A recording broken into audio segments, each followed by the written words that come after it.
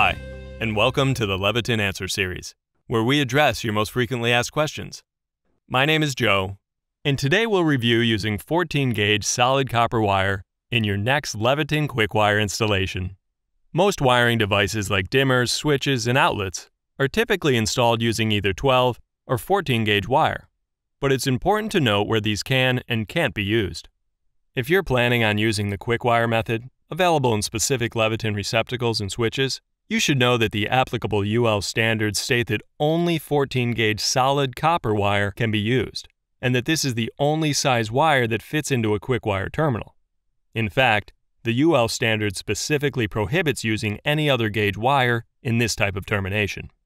Remember, safety comes first, and standards are designed for a reason. During your next QuickWire installation, be sure to only use 14 gauge solid copper wire. And if your application requires a larger gauge wire or stranded wire, plan to use an alternative termination like side wiring or, where available, back wiring. For more information on quick-wired products from Leviton, visit leviton.com. Until next time, I'm Joe with the Leviton Answer Series.